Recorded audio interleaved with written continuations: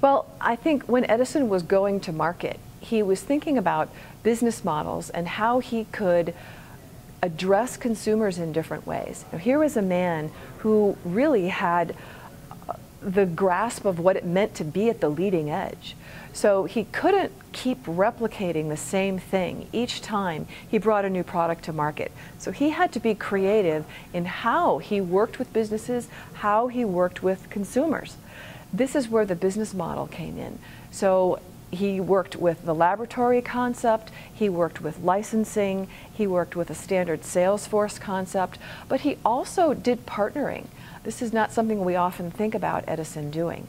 When he was working with radium, for example, he partnered with Madame Marie Curie to begin examining what could radium be used for in a practical commercial context. And out of that partnership came the concept of the fluoroscope, uh, which is still used today in uh, the medical uh, and health area.